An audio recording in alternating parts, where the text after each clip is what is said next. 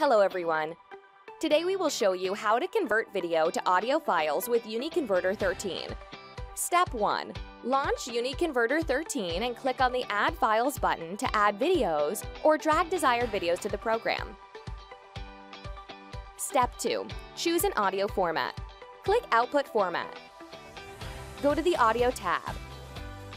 Choose Audio Format and pick an output quality. Step 3.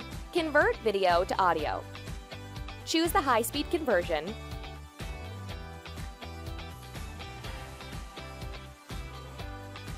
Select an output folder in the file location field